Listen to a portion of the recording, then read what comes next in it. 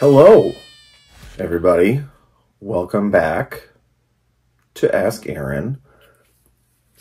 A couple weeks ago, uh, I did not film because I did not speak, but some questions came in for a good friend of mine who did speak, Max. This week, there was a sewing machine on the Ask Aaron desk for multiple days. I also substitute taught uh, some Bible classes at Trinity Academy where my kids go to school. So we're a day and a half late on this, and you might be asking yourself, so what? So what? anyway, we got six questions for the last two weeks. So I'm going to ask these questions and uh, we'll go from there. As always, these are my views, not the church's. I hope they agree. If you've got more comments, put them in the comment section. Continue the conversation down below. Hill City Hudson backslash media, Facebook, YouTube, or the app to watch any of our past messages. Here we go. Question number one Can learning get us to heaven? I gave a message about how everybody's learning.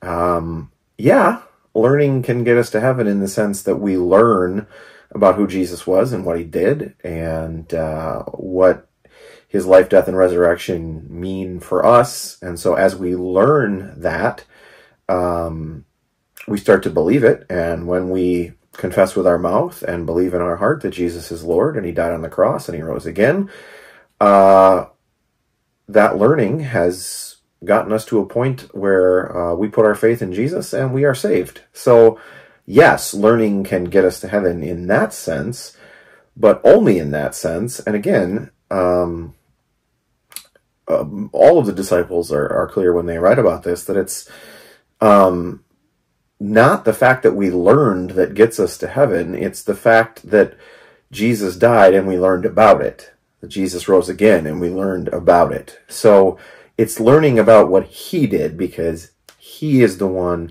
who makes it possible for us to get to heaven. So if you want to really parse words here, can learning get us to heaven? No. Jesus' life, death, and resurrection got us to heaven. But can learning get us to heaven in the sense that we learn about that? Yes. It's kind of a 50 50. Yes and no. It's my favorite answer, right? Uh, is learning more important than actions in God's eyes? The answer to that is maybe. No, the answer is yes and no. Yes, uh, wisdom is more important than doing the right thing because you have to do the right thing for the right reason, right? As a Christian, we believe that we do the things that God commands us to do because we put our faith, hope, and trust in Him. You can do all the right things for the wrong reasons and it's not going to matter one bit, right? You can go to church for the wrong reasons. You can give money for the wrong reasons. You can sing worship songs for the wrong reasons. So, in that sense, yes, wisdom, knowledge is more important as we learn about who Jesus is, as we learn about what Jesus calls us to do, as we learn about how he calls us to live. Um, those things are incredibly important. Uh, but so are actions, and you need to do things for the right reasons. And so, when you do the right things for the right reasons, um, it's what's most important, right? That we demonstrate our faith, that our love is an action, that our faith is placed in someone. And so, um, again, this is a yes and no. It's it's just dependent on how you phrase things and and what you mean by them. Okay. Um, I'm going to jump back to uh, a week ago or a week, two weeks ago at this point, uh, when my friend Max spoke. Uh, he spoke uh, about anxiety. He spoke about chasing after God instead of the world. And someone asked the question How can I know if I'm chasing after God or chasing after the world? And I thought to myself, you know, I could answer this question, but why not go straight to the source? So uh, let's let's give Max a call and see what he's up to, shall we? We shall. how do we know if we are chasing after God or chasing after the world? We had talked, I had talked about a lot about chasing after God, um, and not chasing after the things of this world. Now, I think where that question is going to come most into play is like, how do I know if the things I'm chasing after that feel like they are godly are is actually me chasing after God or if it's me chasing after the world? Because the world itself is all of these things that distract us from like moving towards God and moving towards him. I it's not it's not a crime to want to cook dinner or to eat food. Right? Or to to to pursue food at, at, in, in, during our day if you want to use the, those terms. Um, it is a crime to make or it is a sin if we can if we pursue food over what the other things God needs, right? like gluttony. Like if we're gluttonous over our food um, and over what we're eating, uh, that becomes a sin and is we're not chasing after God in that moment. But I think the big overall thing is, are you seeking God first in your relate, like as the first part? Are you seeking God in your relationship or a relationship with God first and foremost in your life? It's as simple as that. Is the first thing that you're doing is with everything you do like every every step you take every every action you take is this something god wants me to do or is this something god does not want me to do are you asking that question are you searching for that answer because if you're not searching for that answer not searching for that question then it's irrelevant max is cooking in more ways than one great job max excellent answer Let's ask another question. Uh, should we have more grace for one another? After all, we're just learning, right? I mean, the answer to that is yes, right? We deserve um, to treat other people or to be treated by other people the way that we would want to be treated, right? That's Jesus says, love the Lord your God with all your heart, with all your soul, with all your mind, with all your strength, and love your neighbor as yourself. So yes, you should show your neighbor grace um, because they're learning. But here's the here's the, the caveat to that. Grace is this strange thing that we all want to be shown and don't really love showing to other people. And we should show it to other people, but we should show it to other people when they make mistakes that aren't purposeful when we show grace to other people because they're just learning, but really what they're doing is just trying to get away with something because, you know, oh, I'm immature or oh, Jesus will forgive me anyway or like no, those those situations don't deserve grace. They deserve correction. They uh, deserve instruction.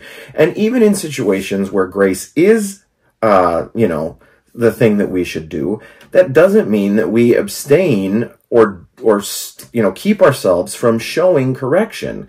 Yes, we're all learning and we should have grace for each other as we learn, just as you do for a child as they learn their times tables or how to read. But that doesn't mean you don't then teach them the right answer in those times tables or the, the correct way to sound out a word phonetically so that they can, you know, learn how to read it. So, yes, you should show one another grace in situations where people are trying their best and doing what they can and attempting to learn. And no, you should not show people grace when they're trying to take advantage of the system. And yes, you should show grace, but you should also continue to teach and correct because getting it right is what's, you know, most important as we follow Jesus. We want constantly be learning and growing so that we get it right. And again, getting it right isn't what gets us into heaven, but we still want to get it right. Right? Right. All right, next question. God doesn't seem to be using me for his will. Where did I go wrong? So many possibilities uh, to the to the answer for this question. But my first question would be are you sure that the thing or the things that you're doing are within the will of God, right? Like, oh, uh, you know, God doesn't seem to be using me to uh, preach the gospel at work. Well, do you know the gospel? Have you read your Bible? Do you know the story of Jesus' life, death, and resurrection? Are you able to share about it because you're actually, um, you know, intelligent about it? If if the answer to those questions is no, then that's where you went wrong. Um, are you sure that the things that you're wanting to do are within God's will? Uh, God wants me to raise money to uh, help, uh, you know, fill in the blank of some selfish cause. Well, no, of course God's not using you because you're not doing something that's inside the will of God. That's where you went wrong. So the first thing I would say is if you don't feel like God is using you for his will, you need to probably stop and ask yourself, what is God's will in this situation? And I don't think that it's that difficult to figure out. God's will for us is that we use the gifts and the talents and the abilities that he's given us to further his kingdom. So are you attempting to further God's kingdom or are you attempting to further your own or someone else's? Um, the second thing is, are you trying to, to gain attention or are you trying to serve, right? Because all sorts of people try to gain attention when they should be serving. And, um, you know, oh, look at me serve, look at me serve. Well, that's, that's not how that works either. Um, there are so many people at Hill City that make things, you know, behind the scenes go more smoothly, that don't get their name, uh, you know, on the website or, or, or, you know, the credit every Sunday. Um, but those those people make our church happen, and without them, I would just be some guy standing in an empty gymnasium talking to whoever bothered to show up. Right? So ask yourself: Am I doing things that are inside of God's will? Which means, am I trying to use the gifts and abilities He's given me to further His kingdom, or am I more concerned about myself, my own attention, etc., etc.? And then, you know there's also this issue of God's timing. Maybe the thing that you're doing is good and, and godly, but this isn't the time or the situation in which God wants to use you. So have you prayed about it? Have you asked him, is this something you want me to do? And am I doing it for the right reasons? Those are, those are sort of the, the checklist items I would go down as we're doing this. Okay. One more question. Let's go back to the kitchen and ask Max, is anxiety a sin? He said he was going to splice me in. It's a really old term. Uh, people don't normally say that anymore. You know, Aaron's old, so we've got that going for us. Uh, I'm cooking ribs tonight. Yum, isn't that great? Uh, but the first question that uh, he had brought up to me, um, because my I had referenced uh, some scripture in math in uh, the book of Matthew, and it said the question was, "Is anxiety a sin?" And it referenced the the scripture in Matthew that I had said, where it says, "Do not be anxious." Uh, this is Matthew chapter six, verse twenty-five. Verses 25 through 34. And it says this, Therefore I tell you, do not be anxious about your life, what you will eat or what you will drink, nor about your body. Uh, you will put uh, you will put on. It is not is not life more than food? Is the body more than clothing? Look at the birds of the air; they neither sow nor reap nor gather into barns, and yet your heavenly Father feeds them. Are you not of more value than they? And which of you, by being anxious, can add a single hour to the span of life? And why are you anxious about clothing? Consider the lilies in the field, how they grow. They neither toil nor spin. Yet I tell you, even Solomon in all his glory was not arrayed like one of these. But if God so clothes the grass of the field, which today is alive and tomorrow is thrown into the oven, will he not much more much more clothe you, O you of little faith? Therefore do not be anxious, saying, What shall we eat? or what shall we drink, or what shall we wear? For the Gentiles seek after all these things, and your heavenly Father knows that you need them all. But seek first the kingdom of God and his righteousness, and all these things will be added to you. Therefore, do not be anxious about tomorrow, for tomorrow will be anxious for itself. Sufficient for the day it is own in its own trouble. Now, I don't think Christ, when he's talking about this, is actually saying that anxiety is sin. I think part of anxiety comes from our want or our um, perceived need to have these things in our life.